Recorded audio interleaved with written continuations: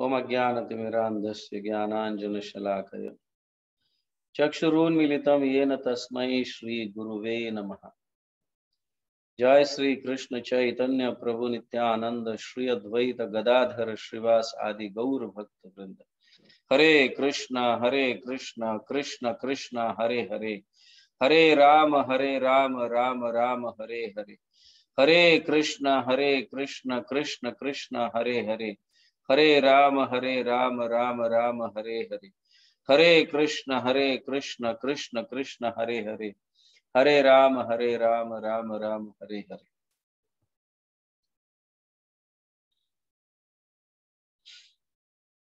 Okay, सभी भक्तों का स्वागत है।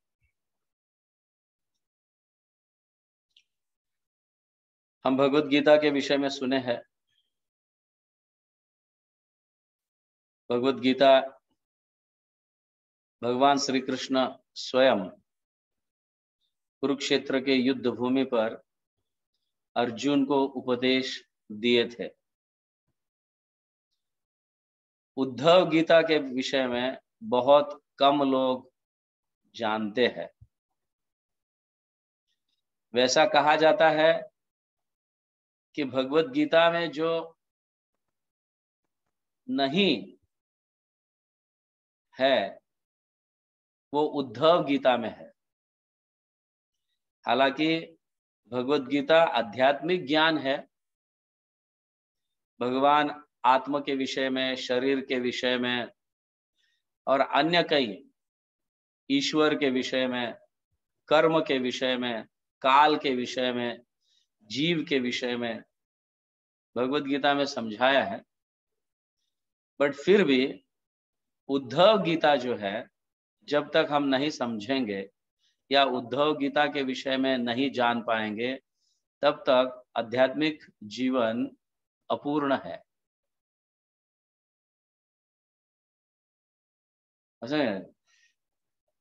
भगवान श्री कृष्ण जो है, अर्जुन को गीता समझाई युद्ध करने के लिए। आप समझ रहे युद्ध करने के लिए भगवान श्री कृष्ण ने गीता बताई। लेकिन भक्ति के लिए उद्धव गीता अत्यंत महत्वपूर्ण विषय है। आप समझे? तो उद्धव गीता जो है, भक्ति के विषय में ज़्यादातर जानकारी देगी। तो वैसे भगवान को अपने आप में समझ पाना या वेदों को पढ़कर समझ पाना बहुत ही कठिन है। जब तक भगवान अपने विषय में नहीं कहेंगे, तब तक कोई भी भगवान के विषय में समझा नहीं सकता। भगवान स्वयं ही अपने विषय में समझाएँगे तो ही गुह्य ज्ञान जो है कॉन्फिडेंशियल नॉलेज जो है वो हम समझ पाएँगे। तो उद्धव गीता जो है ये मोस्ट कॉन्फिडेंशियल नॉलेज समझ गए? हाँ, गुह्यतर ज्ञान है ये उद्धव गीता। तो पाँच हज़ार साल पहले जैसे अर्जुन को युद्ध करने के लिए या युद्ध में प्रेरित करने के लिए, युद्ध करने के लिए, प्रेरित करने के लिए भगवान ने भगवत गीता समझाई।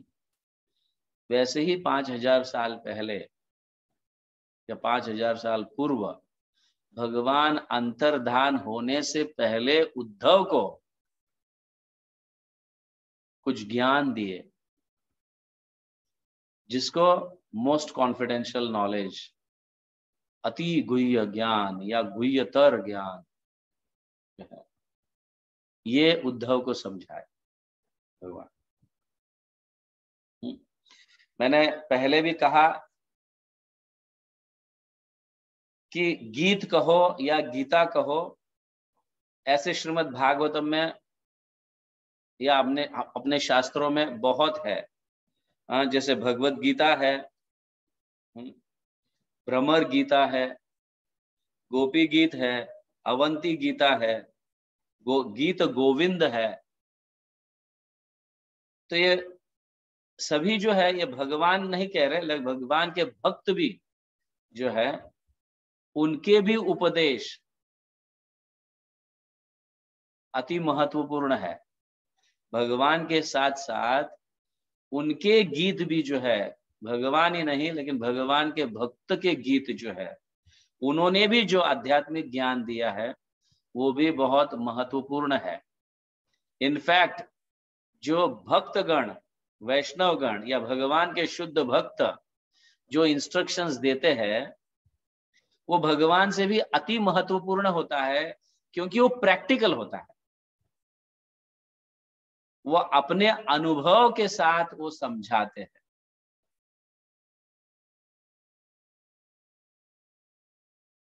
अब समझ? रहे इसलिए भगवान जब उद्धव को इंस्ट्रक्शंस देने के बाद भी जो है ना उन्होंने ये आदेश दिया कि आप गृहस्थ जीवन को ना अपनाए हाँ, अब सीधे भद्रिकाश्रम चले जाओ। हाँ, भद्रिकाश्रम चले जाकर मैं तुम्हें जो समझाया हूँ ये वहाँ पे जाकर इस ज्ञान को बांटो।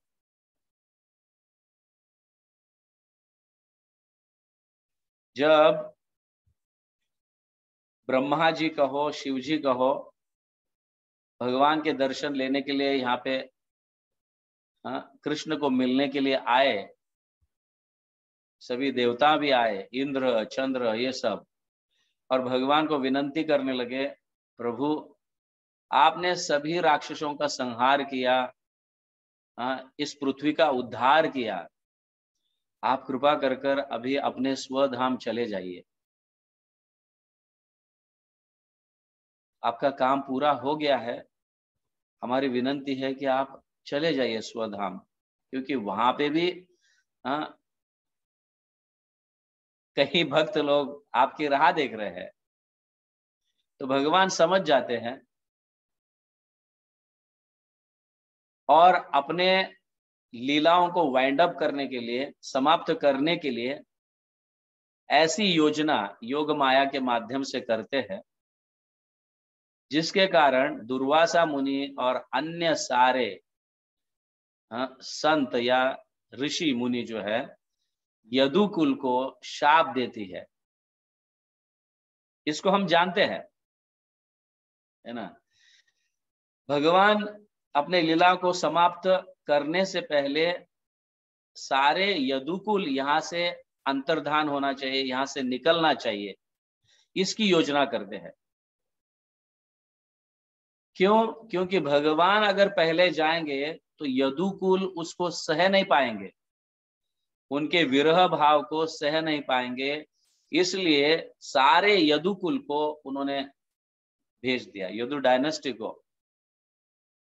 तो जब शाप मिला था, दुर्वासा मुनि जब शाप दिए, सारे यदुकुल नष्ट होगा तब भगवान ने सारे अपने परिवार स्वजनों को कहा कि हम प्रभास क्षेत्र जाते हैं, वो सेक्रेड प्लेस है, बहुत पवित्र स्थल है हाँ और ऐसे ही दुर्वासा मुनि और अन्य सारे ऋषिगुण शाप दिए हैं तो वहाँ पे हमारा देह अंत करना यह सबसे उत्तम होगा। इस तरह से कहकर हाँ, अपने वरिष्ठ लोगों को भगवान और अपने सारे स्वजन जो है सब प्रभास क्षेत्र चले जाते हैं।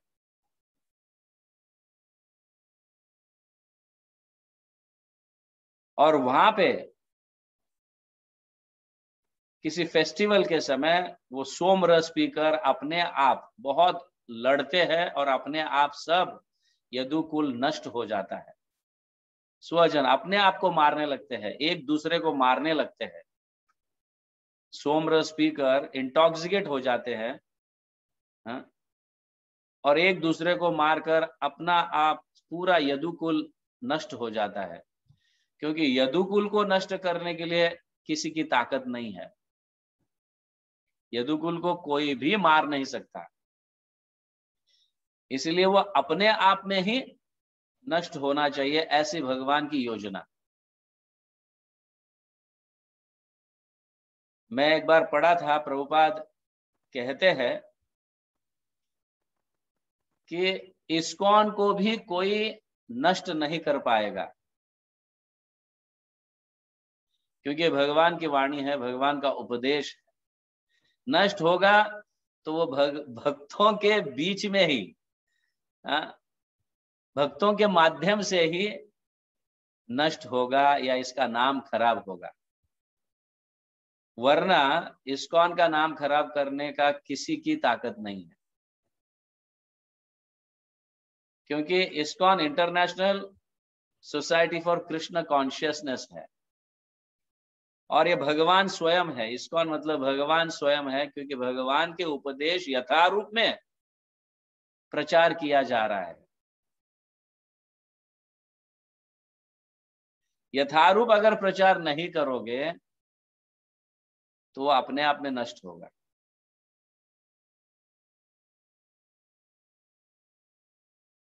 प्रभुपाद ने ये कहा था, इसलिए यथारूप एज इट इज़ जो हमारे आचार्य कहते हैं, उसको एज इट इज़ जब दोहराएँगे तो ये बड़े लंबे समय तक चलेगा, वरना अपने आप में नष्ट होगा।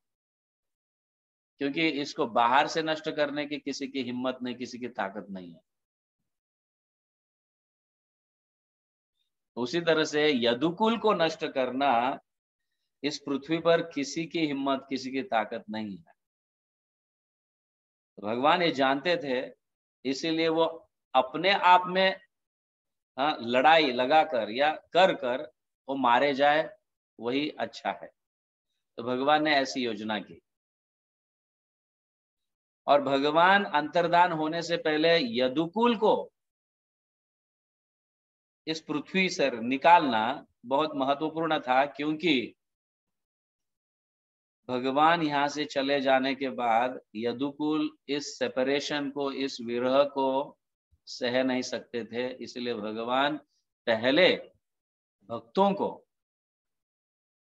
आध्यात्मिक जगत भेज दिए और फिर सबसे अंतिम वो चले गए। तो अनंत शेष बनकर बलराम जो है, वो अपने स्वधाम चले गए, गोलोक चले गए। फिर कृष्ण अकेले जो है रहकर यहाँ पे उद्धव को ज्ञान देते हैं।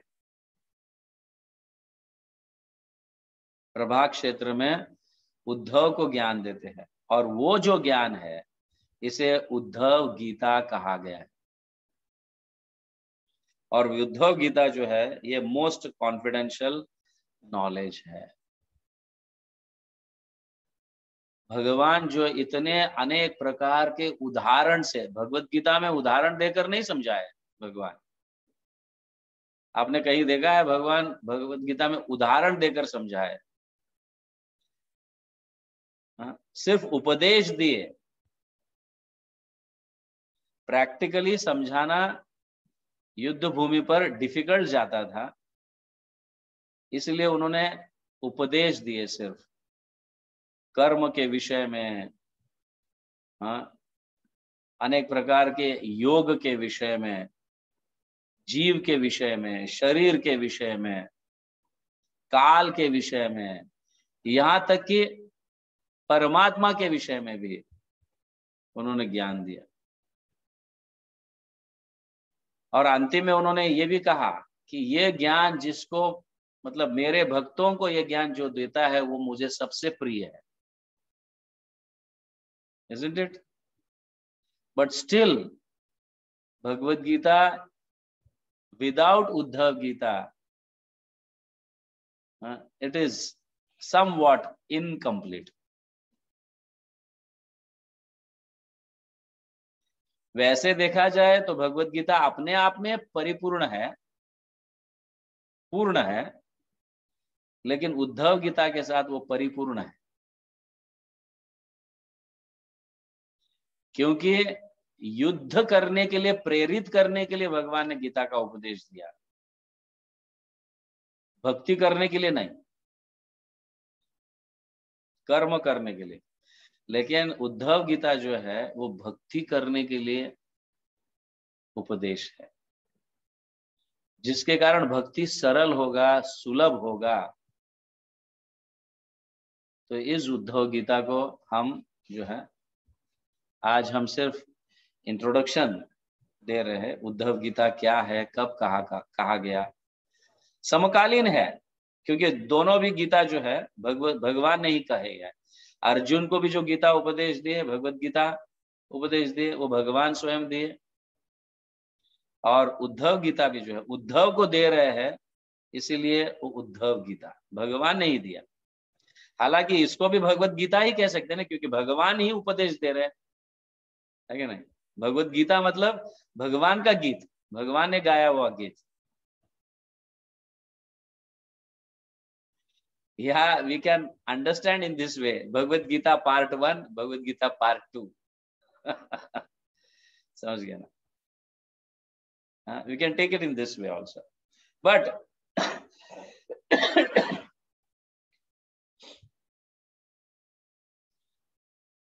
इसमें उद्धव का नाम आ रहा है।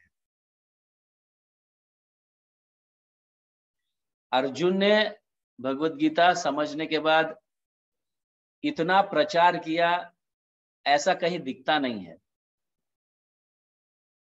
भगवत गीता का भगवान ने जो कहा, उसका इतना प्रचार किया, ऐसा कहीं नहीं दिखता। लेकिन यही भगवत गीता, भगवान जो गीत गा रहे हैं उद्धव के सामने और उद्धव को आदेश दे रहे ये तुम जाकर भद्रिक आश्रम में अन्य ऋषियों को नर नारायण के साथ कई ऋषियाँ वहाँ पे है, उनको जाकर ये, मैंने जो उपदेश दिया वो समझाओ। और उद्धव जो है, इसके अलावा दूसरा कुछ कार्य किए ही नहीं। भगवान के इस आदेश को पूर्ण रूप से पालन किए। इसीलिए भगवान के भक्तों का नाम आना ज़रूरी है, इसलिए उद्धव गीता कहा गया आप समझ रहे हैं? क्योंकि उद्धव ने भी इसको गाए है।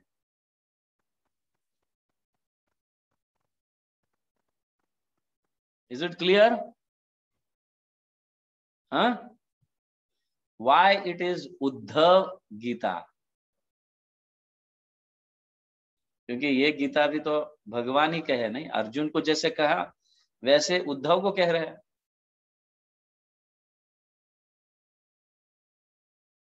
बट वी कैनॉट सी और not heard that Arjuna is explaining Gita in front of so many rishis have you heard हमने सुना है? बट ग्यारहवें स्कंद में जो है उद्धव गीता के विषय में चर्चा है। प्रभुपाद ने किए है। उद्धव जो है, जाकर नर नारायण ऋषि के साथ अन्य जितने भी ऋषिगण बैठे हुए हैं, उन सब के सामने भगवान के इस उपदेश का जो है, यथारूप में जो भगवान से उन्होंने लिया है, यथारूप में वर्णन कर रहे हैं, या भगवान के आदेशों का पालन उद्धव जी ने किया,